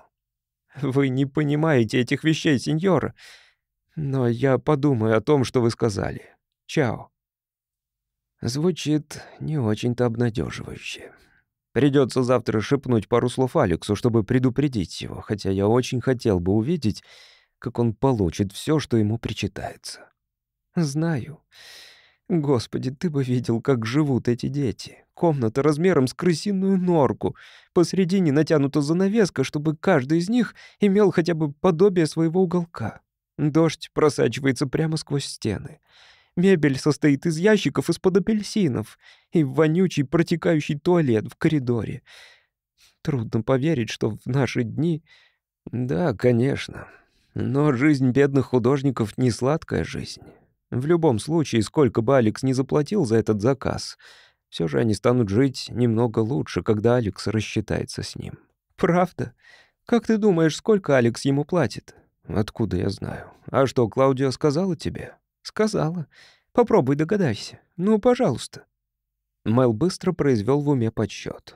«Так», — сказал он, — «поскольку статуи целиком изготовляются Паулу, начиная с набросков и до готовых изделий, они должны стоить от пяти до десяти тысяч долларов. Но я могу поспорить, что парень получит от Алекса не больше, чем пару тысяч. Мэл, он получит пятьсот. Сотню авансом, а остальное после окончания работы. Всего пятьсот долларов. Непревзойденный файл. — думал Мел почти с суеверным ужасом, когда они проезжали по мосту над вздувшимся мутным Тибром. Паршивые 500 долларов за все 12 статуй. Плюс Клаудия Вареза в придачу. Мел поговорил с Файлом на следующее утро и был доволен, что с ними в офисе находятся Сай и Макарон, которые могли услышать, что происходило. Когда дело касалось применения силы, Файл был не самым храбрым человеком на свете. Перспектива явно встревожила его. «Какого чёрта? Вы знаете здешних девиц. Если бы я не сделал это вчера, сегодня наверняка бы появился кто-нибудь другой. Но если этот её братец задумал всадить мне нож в спину, я могу...» «Я не об этом», — возразил Мэл. «Я сказал только, что с твоей стороны было бы весьма разумно держаться от него подальше. Завтра он заканчивает свою работу. Ты можешь найти себе какое-нибудь занятие в городе, пока он не уйдет. «Чтобы я дал этому мальчишке-макароннику прогнать меня с моей собственной территории!» «Ты ведь сам все это начал, верно? Тебе не повезло, на этот раз попалась девушка не того сорта». «Ну ладно, ладно. Но я вернусь вечером, чтобы просмотреть последний материал, и сразу же после этого мы устроим совещание прямо здесь в офисе. Все понятно? Поэтому все должны быть на месте. Прозвучало зловеще. Решили все после того, как файл уехал. Но их это по-настоящему не взволновало. Оставалось отснять только пару сцен. Около недели потребуется на монтаж, вот и все. Файл сделал все, на что был способен, но не смог помешать им показать, на что способны они. Какую бы карту он ни прятал в рукаве, а файл постоянно преподносил им неприятные сюрпризы на таких совещаниях, на этот раз было уже поздно разыгрывать эту карту. Вот что главное. Они ошибались. Файл вернулся поздно вечером, чтобы просмотреть с ними последний материал, и когда после этого они собрались в его офисе, извлек из рукава не карту, а целую бомбу. «Я хочу, чтобы вы уяснили одну мелочь», — сказал он. И на этом наша встреча кончится. Всего одна небольшая деталь. Голдсмит, я понял так, что вы собираетесь, наконец, закончить съемки на этой неделе, верно?» «К пятнице», — сказал Сайрус. «Тогда все в порядке. Стало быть, в пятницу вечером все вы выйдете отсюда в последний раз, понятно? После того, как вы окажетесь по ту сторону ворот, то там и останетесь. И не пытайтесь как-нибудь надуть охранника, потому что ему будут даны специальные указания держать вас за воротами». «Конечно», — сказал Сайрус. «Только вы упустили одну мелочь, Алекс. Надо сделать монтаж фильма. Вам придется подождать еще одну неделю, а тогда уж приказать охраннику наставлять на меня пистолет». «Правда?» — спросил Файл с притворным интересом. «Еще одну неделю?» Его лицо застыло. «Нет, спасибо, Голдсмит. У нас уже есть парень, которому мы платим за монтаж, поэтому в пятницу вы просто помашете ручкой и забудете, что вы когда-либо были со мной знакомы». «Ну, Алекс, не может быть, чтобы ты всерьез поручил Горильо монтаж. Он же совершенно беспомощен. Если я не буду стоять над ним и говорить, что делать...» «Значит, теперь я буду говорить ему, что делать?» «Ты?» «Совершенно верно. Я!» Файл сердито ткнул себя в грудь указательным пальцем. «Я Алекс Файл, который снимал картины, когда вы еще прыгали на пони со скалы. Десять монет за прыжок». «Ты никогда бы в жизни не сделал такой картины. «Еще бы!» — почти крикнул Файл. «На месяц отстал от графика. На 20% превышен бюджет. На 20%, слышишь?» Сайрус побледнел и дышал с трудом. «Алекс, я не позволю никому кромсать эту картину. Если ты попытаешься не допустить меня до монтажа...» «Если попытаюсь...» Файл стукнул кулаком по столу. «Я не пытаюсь, я делаю. И разговор окончен, все, никаких встреч. До субботы я здесь не появляюсь. Пока что я заработал на этом фильме одну только язву. Но с субботы я начну выздоравливать». Файл был по-настоящему взбешен. Мэл видел это. Он словно ослеп от ярости, дрожал от гнева. Были оскорблены его боги, график и бюджет. И теперь, словно верховный жрец, бегущий прочь от места, где свершилось богохульство, он бросился к двери, переполненный негодованием. Когда он уже взялся за ручку двери, его остановил умоляющий голос Сайруса. «Послушай, Алекс, мы слишком давно знакомы, чтобы делать такие глупости. Если мы...» «Если мы что?» Файл быстро повернулся, не выпуская ручки. «Если мы проведем всю ночь в глупых разговорах, я передумаю. После того, что здесь происходило все лето. Так вот, я тебе скажу прямо, предатель паршивый, я не передумаю». Дверь рывком отворилась, потом захлопнулась. Файл ушел. Все четверо застыли, глядя друг на друга. В комнате было так тихо, что Мел отчетливо слышал каждый звук, доносившийся извне, словно работал усилитель. Дальний свисток паровоза, скрип цепи, на которой фонарь раскачивался под теплым ночным ветерком, резкий звук шагов файла, идущего к машине. Первый нарушила молчание Бетти. «Господи!» — прошептала она, не зная, смеяться ей или плакать. Он говорил совершенно серьезно. Он испортит картину, даже не понимая, что портит ее. «Погоди», — сказал Мел. «Если в контракт Сайруса включен монтаж картины, то...» «Но он не включен», — сказал Макарон. Он внимательно наблюдал за Сайрусом. «Как ты себя чувствуешь?» — спросил он. Тот сделал гримасу. «Отлично. Болит только, когда смеюсь. Ты скверно выглядишь. Если бы я знал, что ты не откажешься немного выпить, не откажусь. Давайте уберемся отсюда, вот и все. Они вышли из офиса. Луна, стоявшая низко на горизонте, имела вид тоненького, как вафля серпа. Но небо над головой было так густо усеяно звездами, что, казалось, они освещали дорогу к стоявшему ворот машинам бледным фосфорицирующим светом. И тут Мел заметил, что кадиллак Файла все еще стоит на своем месте, с выключенными передними фарами и распахнутой дверцей. Но Файла в машине не было. Мел оглядел темное пространство съемочной площадки. Странно, подумал он, Файл был человеком привычки. Закончив дневную работу, он садился в свою машину и направлялся прямо к воротам. Никогда раньше он не имел обыкновения бродить по опустевшей площадке после многочасовой работы. Зачем же ему делать это сейчас? Сай и Макарон прошли вперед, и Мэл увидел, что Сайрус внезапно остановился. Он вернулся к Мэлу, Макарон шел за ним по пятам. «Я мог бы поклясться, что слышал, как этот поганый заморыш проходил тут, когда мы еще не вышли. Он не припрятал здесь за углом еще одну машину?» Мел покачал головой.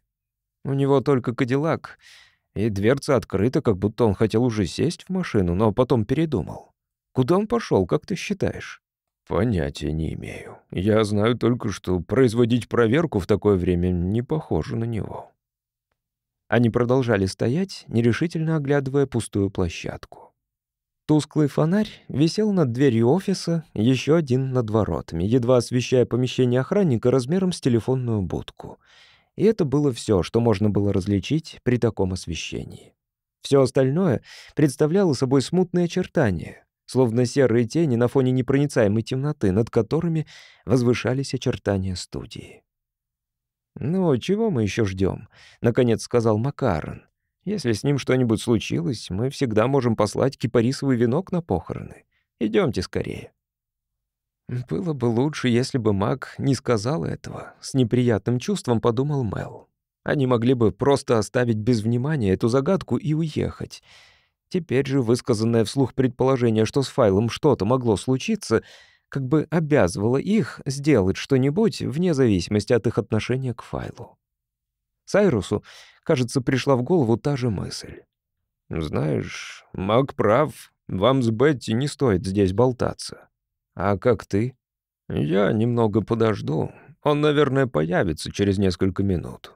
«Тогда мы подождем вместе», — сказал Мел, стараясь не слушать замечаний, которые в полголоса отпускала Бетти по адресу файла. Шли минуты. Наконец, услышав звук приближающихся шагов, они встрепенулись.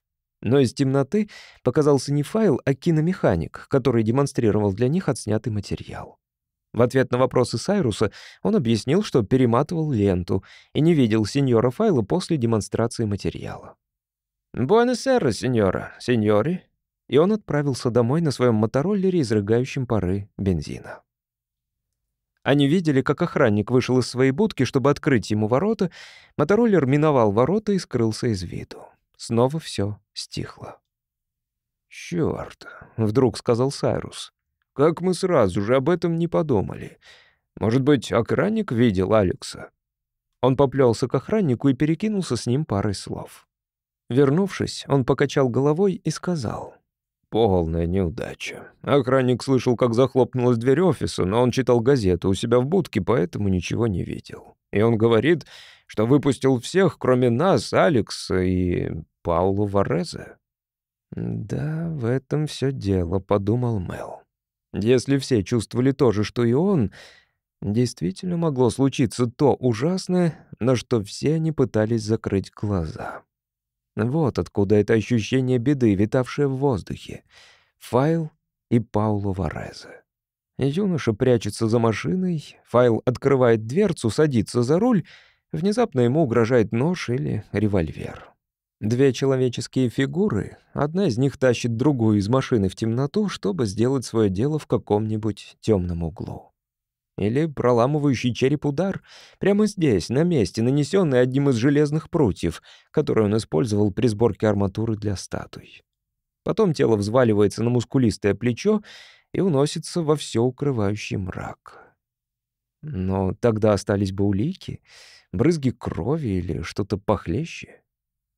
Мэла тянула заглянуть в машину, посмотреть, что там на кожаной обивке — и он тут же почувствовал приступ тошноты. Он нерешительным жестом указал на машину. «Может быть, мы должны...» «Не волнуйся», — сказал Сайрус, явно пожалев его. «Я сам это сделаю». С чувством облегчения Мел наблюдал, как Сайрус подошел к машине и, наклонившись, заглянул внутрь. Потом сквозь ветровое стекло блеснул слабый свет на панели. «Ключи есть», — услышал Мел приглушенный голос Сайруса, «но здесь все в порядке». Свет потух, и Сайрус, выпрямившись, отошел от дверцы. Держа в руке ключи, он обошел машину, открыл багажник и заглянул внутрь. Захлопнул крышку и подошел к ним. «Ничего. Понятно только одно. Алекс забрался в машину и потом снова вышел». «Ну и что теперь?» — спросила Бетти. Теперь я пойду в плотницкую мастерскую и посмотрю, сидит ли еще Вареза в этом его ателье. А в это время Мак может заглянуть в студию и посмотреть там. Но вам с Мэлом незачем. Об этом не беспокойся, еще не очень поздно. Хорошо, тогда вы двое в своей машине поезжайте к запасным воротам и поговорите с охранником. Когда будете возвращаться, сделайте круг и осмотрите площадку, насколько сможете. Не торопитесь и дайте полный свет на передние фары. Они точно выполнили указания и через 20 минут снова стояли рядом с Сайрусом и Маком. Мел с облегчением увидел, что на их лицах написано все то же удивление. «Мак говорит, что в студии никого нет, а парень у себя в ателье работает над последней статуей и клянется жизнью матери, что с обеда оттуда не выходил. Я верю ему, хотя он не скрывает, что был бы счастлив, если бы Алекс сломал себе шею. Во всяком случае, если он действительно хотел напасть на Алекса, он никогда бы не сделал этого здесь у всех на виду, в 15 шагах от охранника, да еще когда мы каждую минуту могли выйти из офиса. Поэтому если вы только не полагаете, что такой трус, как Алекс, мог по своему почину явиться в ателье и начать скандал, нет, это никак невозможно», — сказал Мэл. «Я тоже так думаю. А что сказал охраннику запасного выхода?» «Ничего интересного. Он закрыл ворота в обычное время, когда все кончают работу, и с тех пор не видел поблизости ни души. Кроме того, мы объехали все кругом, и единственное, что мы заметили, была парочка бродячих кошек. И что же у нас получается?» Сайрус покачал головой.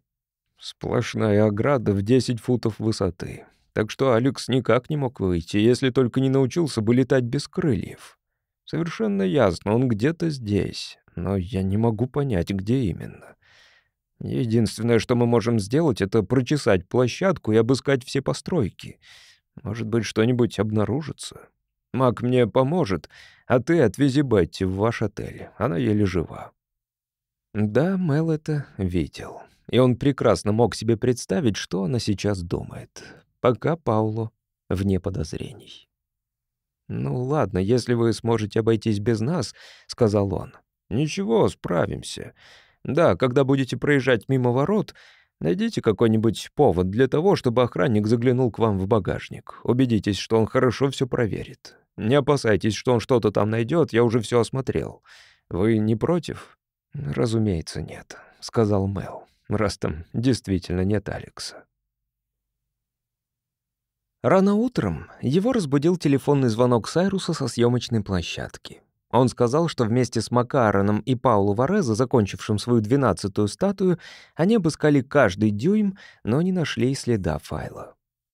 «Он и вправду исчез. Я только что звонил в отель, вдруг он там, но мне сказали, что его не было всю ночь, и он еще не появился. Я решил, что лучше всего вызвать полицию, они вот-вот будут здесь». «Я сейчас еду, Сай. А ты не поторопился с полицией, ведь прошло всего несколько часов?» «Знаю. Нас могут потом спросить, почему мы не обратились к ним сразу, как только почувствовали, что дело нечисто.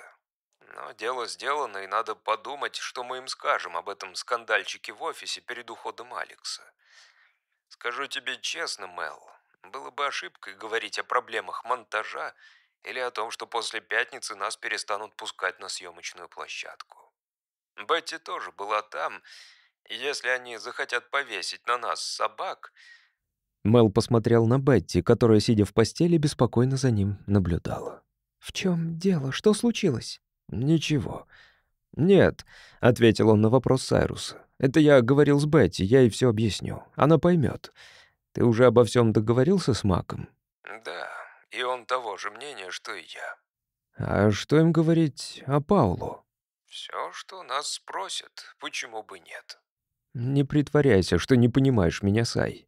Если полиция узнает, что произошло, когда я отвез парня домой в прошлую ночь, когда шел дождь... Пускай.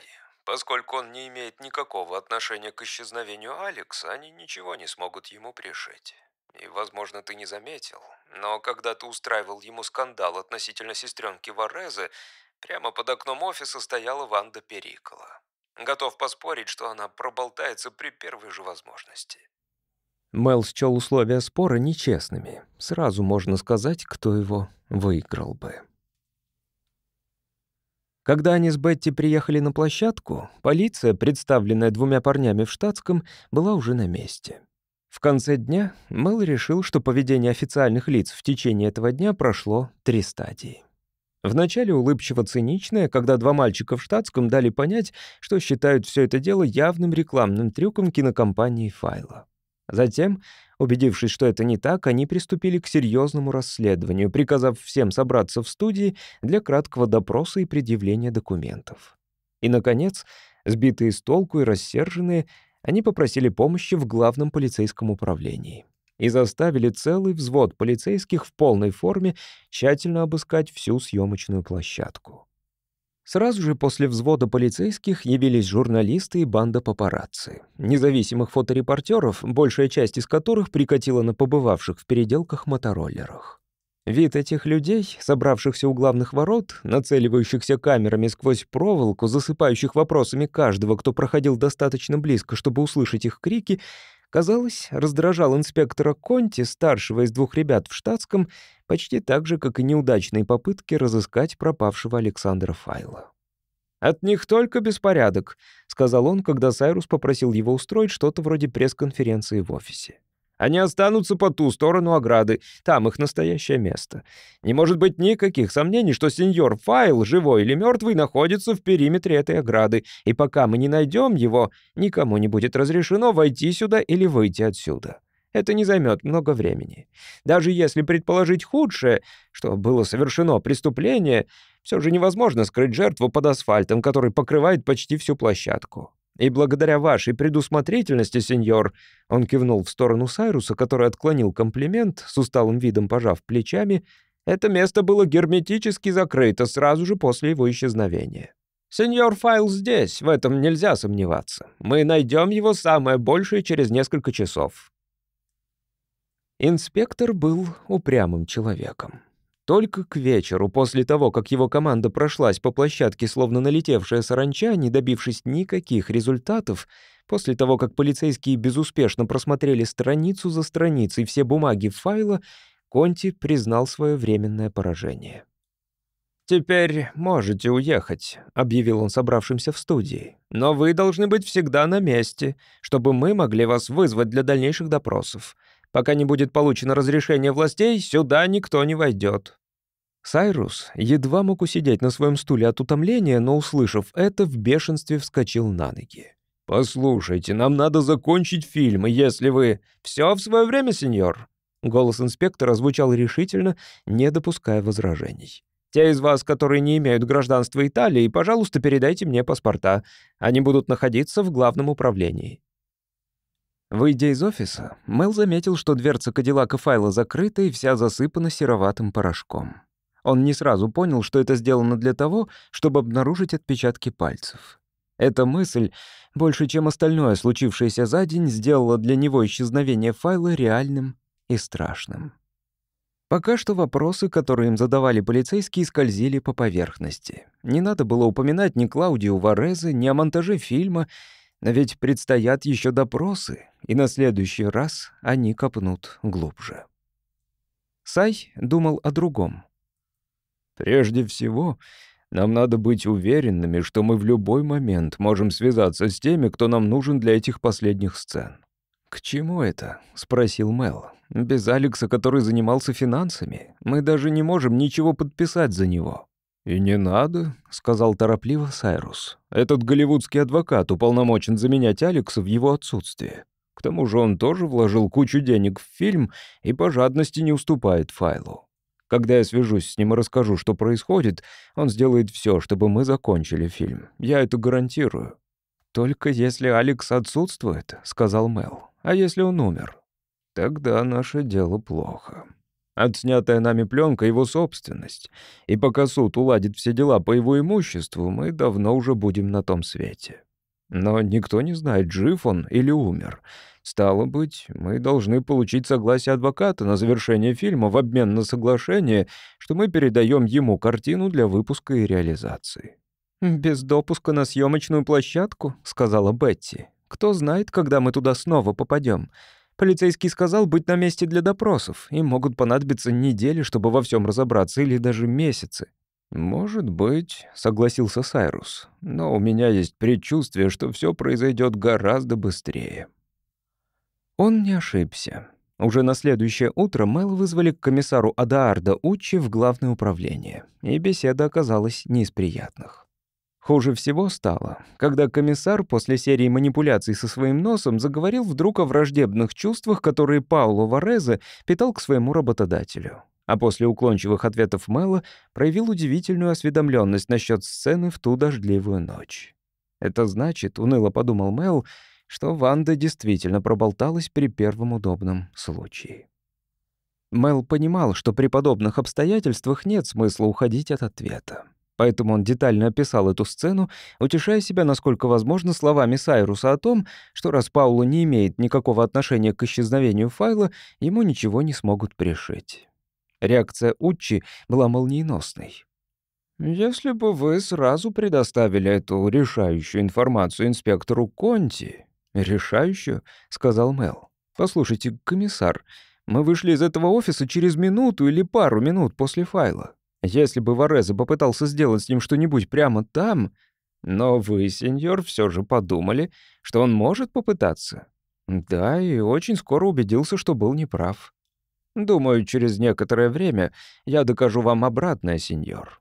Точнее, до конца этого дня. Поэтому вы и сеньора Гордон оставайтесь, пожалуйста, в вашем отеле до этого времени. Будьте любезны, никаких телефонных разговоров и, пожалуйста, никаких посетителей. К вечеру за ними заехал сам Учи в полицейской машине. «Куда мы едем?» — спросила его Бетти, когда машина резко рванула вперед. «Туда, где находится ваша съемочная группа, сеньора, чтобы доказать, что тайное исчезновение сеньора Файла никогда не являлось тайной». «Значит, вы нашли его? Но где? Что с ним случилось?»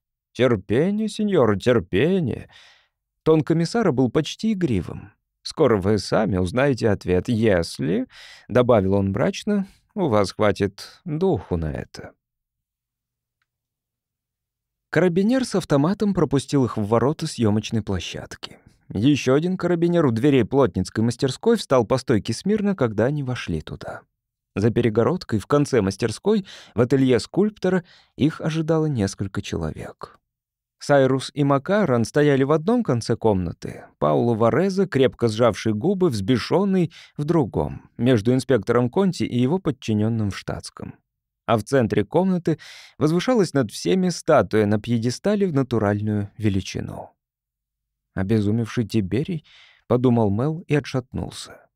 Внезапная догадка молнией ударила в мозг. Сходство между этой статуей и скульптурным изображением Тиберия, еще не пораженного безумием, которое они уже отсняли и отправили туда, где хранился реквизит, бросалось в глаза.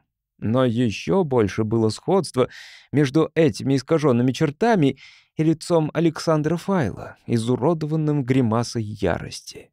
«Нет», — испуганно шепнула Бетти, — «это не похоже на...» «Да», — быстро отозвался Учи, и когда Бетти молча качнула головой, сказал.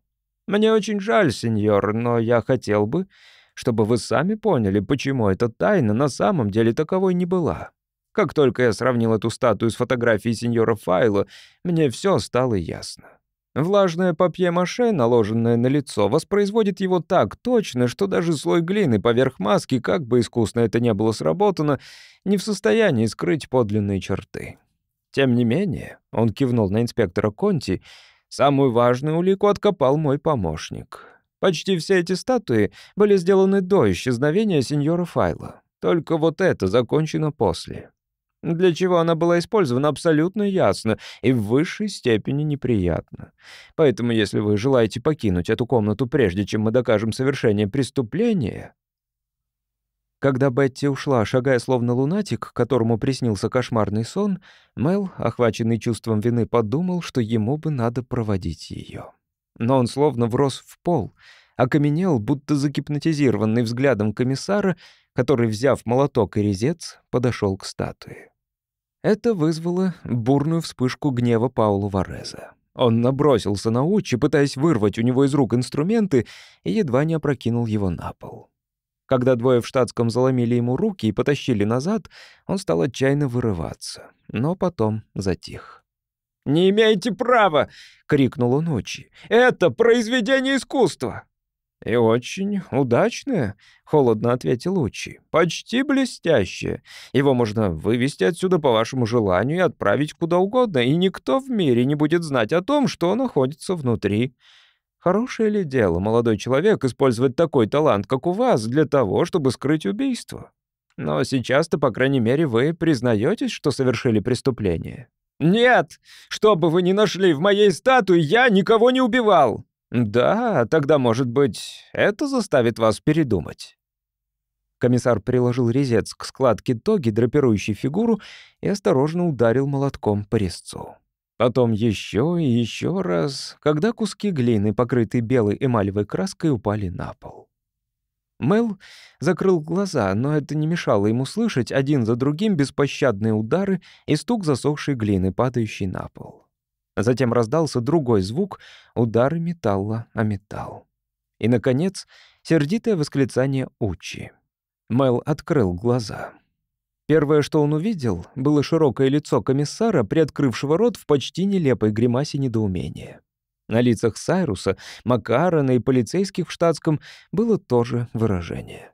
Все смотрели, словно не веря своим глазам, на представшую перед ними внутренность статуи, где виднелись железные прутья арматуры, проволочный цилиндр и ничего больше.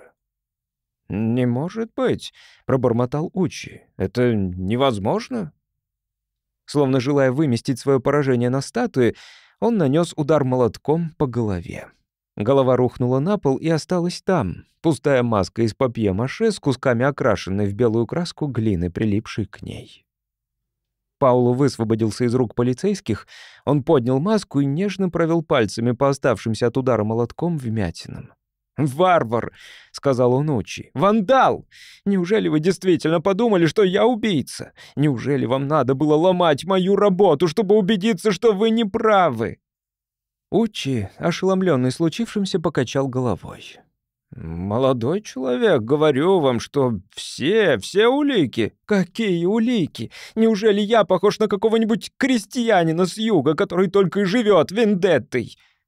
Паулу сунул маску в лицо Учи, который отпрянул, словно боясь, что она его укусит. «Вот моя месть! Вылепить все так, чтобы весь мир узнал, что за скотина этот человек. И такой мести было мне достаточно, потому что я художник, понимаете? Художник, а не мясник. А теперь можете попытаться сами склеить мою статую, потому что мне здесь больше делать нечего». Он посмотрел на Сайруса. «Я уеду сразу же, как только сложу свои инструменты, сеньор». «Но ведь мы завтра вернемся», — умоляющим тоном сказал Сайрус. «Теперь у вас не может быть никаких возражений, верно?» — обратился он к Куччи. «Возражений?»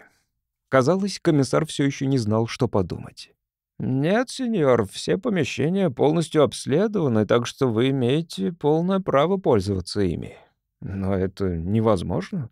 Я не могу понять». «Слышите?» — сказал Сайрус. «Я прошу вас, Вареза, поработать всего один день, только один». «Нет, сеньор, я выполнил заказ, который взял. Мне здесь больше делать нечего». Мел пошел к выходу, и Сайрус поплелся за ним. «Черт возьми», — сказал он, — «не хочется мне делать эту сцену без одной статуи. Может, пропустить ее при съемке? Слава богу, что все так обернулось, и наплевать на статую. На минуту этот комиссар убедил меня. Тебя, он всех нас убедил. Когда Бетти выходила отсюда, казалось, что она вот-вот упадет. Если хочешь послушать моего совета, Мэл, Закажи завтра билет на первый же рейс домой и увези ее как можно скорее. Картина почти готова, и тебе надо думать об Бетти, а не об Алексе». Карабинер, который стоял у двери, показал за угол, и там они увидели Бетти, которая их ожидала. Ее веки покраснели и распухли, а на щеках блестели слезы. «Что случилось?» — спросила она, словно боясь услышать что-то ужасное. «Они... «Нет», — ответил Мел, — «они ничего не нашли. Паула здесь ни при чем. Но она продолжала стоять, беспомощно склонив голову, и действительно казалось, что она вот-вот упадет. Мел крепко обнял ее. Все в порядке, детка, все в порядке. Завтра мы возвращаемся домой». Сай Голдсмит умер в первый день зимы через четыре недели после того, как фильм вышел в прокат. Как сказала Бетти, он хоть перед смертью, но услышал хвалебные отклики критиков. На Оскара, конечно, не тянет, но фильм правдоподобный, драматичный, прекрасная режиссерская работа. Неплохая эпитафия для человека на смертном одре. Тайное исчезновение файла не повредило коммерческому успеху фильма. Когда эта история стала достоянием гласности, пресса просто блаженствовала, и даже когда интерес читателей стал слабеть, его легко подогревали опять. Примерно раз в неделю сообщалось, что файлы видели в неком забытом уголке полностью потерявшего память, ставшего наркоманом или жертвой красного заговора. Бульварные газеты изо всех сил раздували тлеющие угольки сенсации. Картина вышла в прокат, умер Сайрус, и снова заполыхало пламя. Мел и Бетти были в Сан-Франциско, собираясь провести Рождество с ее родителями, когда прочитали в газете о смерти Сайруса Голдсмита, скончавшегося после продолжительной болезни в больнице Ливанский кедр, и о том, что он будет похоронен на кладбище Райский уголок. Мел с неприязнью подумал о репортерах, которые будут кишеть на похоронах, и это заставило его отказаться от присутствия на них. Он ограничился присылкой оригинального венка. Упоминание о кладбище «Райский уголок» напомнило ему о том, как он стоял с Сайрусом на портике игрушечного дворца и смотрел вниз на Аппиеву дорогу, а Сайрус говорил, как утешал его выбор склепа и все такое прочее. Сайрус Голдсмит истово веровал, что гранитный склеп с начертанным на стене его именем гарантирует лучшую загробную жизнь, чем просто яма в земле на глубине шести футов. При мысли об этом Мел покачал головой. У Сайруса не было семьи, которая оплакивала бы его. Единственным близким человеком в мире был Макарон. Наверное, он и руководил всеми приготовлениями к похоронам. Жаль, что Мак не из тех, кто мог бы устроить со вкусом и с фантазией. Он, наверное, проследил, чтобы Сайрус, словно фараон, погребенный с полным набором всего необходимого для счастливой загробной жизни, был снабжен тем, что, по его мнению, необходимо для приятного времяпрепровождения в вечности запасом виски, копией императора страсти и даже красиво обрамленной фотографией гримасничающего Александра Файла на стене склепа, напоминание о победе Голдсмита. Через несколько дней после Рождества Мэл и Бетти выскользнули из дома ее родителей, чтобы впервые посмотреть этот фильм. Мел давно перестал ходить в кинотеатры, где шли его картины. Видеть, что зрители не в состоянии оценить его трудов, хуже, чем сидеть в зубоврачебном кресле, когда тебе сверлят здоровый зуб. Но на этот раз Бетти настояла на своем. «Мы ведь не пошли на похороны», — убеждала она с чисто женской логикой. «Это самое меньшее, что мы можем сделать для Сайруса». «Дорогая, при всем уважении к Сайрусу, там, где он сейчас, ему это все равно. Тогда я пойду одна не будь упрямцем, Мел, ты же знаешь, это особенный фильм. Все и впрямь было так. Он это понял сразу. Особенный и даже шокирующий, чего никто больше в зале не понял.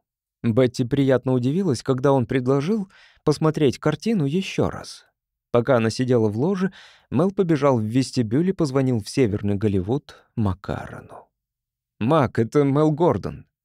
Жаль, что ты не смог быть на похоронах, но цветы, что ты прислал...» «Это все не важно, Мак. Я только что посмотрел фильм, и там есть один кадр. В общем, мне надо поговорить с тобой об этом как можно скорее». Макарон долго не отвечал. «Значит, ты понял?» — сказал он наконец. «Точно? Вижу, что и ты тоже». «Уже давно. А Бетти?» «Я уверен, что она ничего не заметила».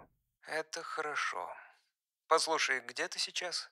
«У родителей жены в Сан-Франциско, но я могу быть у тебя завтра с утра». «Завтра с утра я должен поехать на кладбище и полностью рассчитаться за похороны. Он поручил мне все эти дела. Ты знаешь, как выглядит склеп?» «Нет». «Тогда у тебя есть возможность его увидеть. Встретимся ровно в десять. Сторож покажет тебе, где склеп Сайруса». Пунктуальность была фетишем Макарона. Когда Мел прибыл на встречу в 10 часов с минутами, Мак уже ожидал его на скамье у склепа с надписью «Голдсмит» на массивной бронзовой двери. Само сооружение было сложено из грубо обработанных гранитных блоков, без украшений и без окон. Оно стояло на травянистом холме, возвышающемся над довольно неухоженным пространством, усеянным указателями расположения могил. В противоположность новым модным кладбищам вокруг Лос-Анджелеса это выглядело как подлинное место последнего пристанища. Макарон подвинулся, освобождая Мэлу место на скамье. «Сколько раз ты видел фильм?» — спросил он безо всяких предисловий. «Дважды? Только два раза? Быстро же ты схватил». «Простая арифметика», — сказал Мэл, удивляясь, почему он чувствует потребность чуть ли не извиняться. Шесть статуй, уже использованных и запертых в комнате, где хранился реквизит. Еще шесть в этой панораме коридора и одна в ателье, та, которую разбил комиссар. Тринадцать статуй, не двенадцать, тринадцать. Знаю. Меня осенило в тот день, когда мы сняли последние сцены с этими статуями, и я насчитал шесть стоящих в проходе статуй, а не пять. Тогда я припер Сайруса к стене и заставил все рассказать, как он не упирался. После этого у меня хватило сообразительности держаться подальше от этой шестой статуи, чтобы она не попала в кадр. Но до самой премьеры я так и не заметил, что панорама всего коридора показывает всю шестерку этих проклятых штук. И было уже поздно что-нибудь предпринимать. Так они там и остались, словно ожидая, когда ты явишься и начнешь их считать. Он меланхолично покачал головой. «Лишь бы полиция не начала их считать», — сказал Мел. «Во всяком случае, все это доказывает, что Паулу Вареза намного хитрее, чем мы считали». Эта статуя у него в ателье была просто бутафория, чтобы отвлечь внимание. Пока мы смотрели, как комиссар рубит ее на куски, Алекс был внутри одной из тех шести статуй в коридоре. Прямо в студии, на виду всех, кто проходил мимо. Верно. Но только неужели ты думаешь, что у Варезы хватило мозгов на то, чтобы проделать все это? Он действительно еще совсем зеленый, и он и его сестра просто дети, настоящая пара младенцев, заблудившихся в лесу. Судя по твоим словам, это Сайрус убил Алекса? Нет, черт возьми, Сай вовсе не хотел, чтобы Алекс умер, потому что тогда фильм попал бы навеки в суд по делам наследства. Нет, его действительно прикончил этот парень. Но Сай... Послушай, может быть, лучше всего рассказать все с самого начала? Наверное, сказал Мел. Значит, во-первых, ты помнишь, что Сай попросил нас сделать, когда увидел, что Кадиллак стоит с открытой дверцей, а Алекса нигде нет? Да, он послал тебя в студию искать Алекса, а нас с Бетти осмотреть площадку. Потому что он хотел на время избавиться от нас. Ему пришло в голову, что Алекс отправился к парню, и там что-нибудь могло случиться. Поэтому он... Погоди. Мы все тогда согласились, что у Алекса не хватит духа встретиться с парнем. Это внушил нам Сай. Но в глубине души он чувствовал, что у Алекса была веская причина увидеться с парнем. Только одна. Алекс был трусом до мозга костей, так ведь? Но вместе с тем, каждый год он отправлялся делать свой бизнес в Рим, а парень живет в Риме. Кто знает, когда они могли бы столкнуться лицом к лицу. Или парень мог потерять голову после нескольких рюмок и отправиться искать его. Итак, что может сделать такой тип, как Алекс? Он идет к парню, размахивая белым флагом, и пытается купить его. Задешево, конечно, но, зная, как обстоят дела у Вареза и его сестры, он полагает, что несколько сотен могут все прекрасно уладить. Точнее, около 300 долларов. 20 тысяч лир. Сай знал, сколько он предложил, потому что, когда он вошел в ателье, деньги были разбросаны по полу. Алекс лежал мертвым с почерневшим лицом, а парнишка стоял над ним, не сознавая, что произошло. Сай рассказывал, что ему понадобилось пять минут только для того, чтобы вывести того из шока. Как бы то ни было, он, наконец, привел его в себя, и оказалось, что Алекс вошел в ателье, держа в руках деньги, с широкой улыбкой на своей злобной сморщенной физиономии, и дал понять парню, что, черт возьми, с девчонкой ничего плохого не случилось, но если, чтобы утешиться, она захочет купить себе что-нибудь хорошенькое... Неужели он такой дурак, так ошибаться в людях? Да, таковы факты. Как бы то ни было, парень не выдержал. Он даже не мог сказать, что произошло потом. Помнит только, что сжал руками эту костлявую шею, а когда отпустил, было уже поздно. Пусть так, но все же это убийство. Да, долгий срок в тюрьме, газеты, полные описаний того, как его сестренка сбилась с пути. Казалось, нет никакой надежды. Но знаешь, что самое странное? Что? Единственное, о чем думал Варезе, это в какое отчаяние придут его мама и папа, которых он так подвел. Тюрьма беспокоила его гораздо меньше, чем то, что он после долгих споров убедил родителей отпустить девочку в Рим и позволил Алексу совратить ее. Ему и в голову не пришло, что можно как-то скрыть, что Алекс мертв. Послушать его, так надо срочно звать полицию, и все тут. Но Сай, конечно, не хотел, чтобы стало известно о смерти Алекса потому что тогда фильм, считай, что пропал бы. Он увидел статую Тиберия почти готовую и понял, что это еще не поражение. Ему очень мешало, что вы с Бетти и я крутились вокруг. Но как только он избавился от вас и послал меня, как последнего дурака, искать Алекса по всей съемочной площадке, он мог действовать свободно. Во-первых, он заставил парня быстро сделать новую статую Тиберия. Это была тринадцатая статуя, в которую они засунули Алекса. Сайрус сказал, что пока они с парнем занимались этим, у них была одна мысль — как бы удержать обед в желудке. На это у них ушла вся ночь, а когда статуя была готова, Они отвезли ее на тележке в студию и вместо нее поставили в ателье другую статую. Но Сайрус сказал мне, что Паулу помогал тебе искать Алекса большую часть ночи. Так вот, если бы я спросил тебя... Ах, вот оно что. Тень улыбки мелькнула на упрямом лице Макарена. Он предусмотрел все, чтобы их слова выглядели правдоподобно, и заставил парня несколько раз обойти площадку с фонариком в руке. Если бы у меня были какие-то сомнения насчет парня, они тут же развеялись бы. Когда на следующий день меня допрашивал инспектор Конти, я и слова не сказал о парне, так как я был уверен, что он не имеет к этому никакого отношения. Тебе и не надо было говорить о нем. Ванда только и ждала удобного случая, чтобы заговорить. «Ванда?» — спросил Макарон с неподдельным удивлением. «Откуда ей знать? Черт возьми, это ведь Сайрус рассказал инспектору, что случилось, когда ты той ночью отвез парня домой. Но так, как нужно, понимаешь? Как будто из него надо было вытягивать каждое слово, так, чтобы постепенно направить его в ателье, где он мог хорошенько рассмотреть эту статую, познакомившись с фотографиями Алекса. Это все сделал Сайрус. Когда он убедился, что инспектор и комиссар абсолютно уверены, что другие статуи в студии и в складе реквизита были там до исчезновения Алекса, он захотел, чтобы произошло это представление в ателье.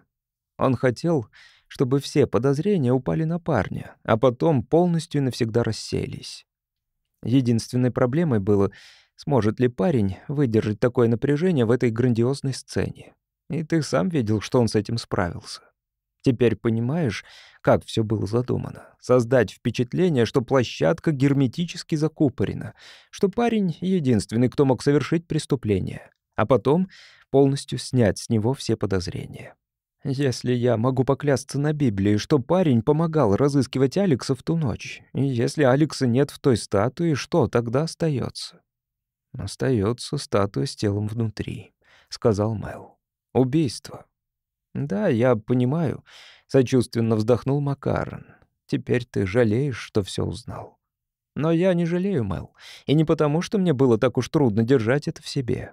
Меня мучило, что никто в мире не знал, как Сайрус доказал, что он за человек». «Что доказал?» — резко сказал Мэл. Ему было нетрудно поступить так, потому что он особенно дорожил этой картиной и знал, что ему немного оставалось жить. Разве он так уж рисковал при таких обстоятельствах? Если бы что-нибудь случилось, он не дожил бы до суда, и все досталось бы парню. Ты все еще не понял. Совершенно не понял. Да и как ты можешь понять, если тебя не было с ним в конце? Ну, а я был. К ужасу Мэла лицо Макарона, хладнокровного, невозмутимого стоика, сморщилось исказившись почти обезьяньей гримасой в попытке удержать слезы. Мэл этому не было конца. Неделя за неделей, и с каждым днем боли усиливались. Его словно резали тупым ножом. Но все это время он ни разу не разрешил сделать себе укол, чтобы боли стали меньше. Врачи хотели, но он не позволял. Говорил, что все в порядке, что он не будет жаловаться на боли. И он не жаловался только извивался на кровати и кусал носовой платок, который засовывал себе в рот, и потел так, что у него по лицу градом катился пот. Но никаких уколов. Только перед смертью, когда он уже не сознавал, что происходит. Ну и что, если он боялся несчастных уколов? «Да неужели ты не понимаешь, почему?» — с отчаянием сказал Макарон. «Все еще не дошло?» Он боялся, что если ему впрыснут наркотик, он может проговориться об Алексе и парне, сам того не зная. Он мог бы все выдать и в конце концов отправить парнишку в тюрьму. Только это и было у него на уме. Вот какой он был человек. И даже если ты хочешь его обвинить... Он посмотрел на Мэла, ожидая его реакции, и, по всей видимости, был вполне удовлетворен увиденным. Трудно хранить в себе такое. Я это знаю, Мэл, но мы должны. Если мы расскажем, значит, Сай зря прошел через все это. А сколько мы сможем скрывать, по твоему мнению? Ведь есть статуя, внутри которой гниет Алекс, где бы она ни была. Рано или поздно? Уж во всяком случае, не рано. И, скорее всего, очень и очень поздно. Может быть, через два поколения. Он с трудом поднялся, подошел к склепу и вставил ключ в скважину бронзовой двери. «Погляди-ка», — сказал он, — «это единственный ключ, так что пользуйся случаем». Какая-то неведомая сила подняла Мэла и бросила его к открытой двери. Он чувствовал, что ему не хочется идти, не хочется видеть то, что придется увидеть, но не мог противиться этой силе. Солнечный свет, пройдя через открытую дверь, залил застывшие недра гранитного склепа и упал на крышку вместительного гроба на возвышении у задней стены. А у его подножия, глядя на него с лицом искаженным вечной бессильной яростью, стояла статуя безумного Тиберия.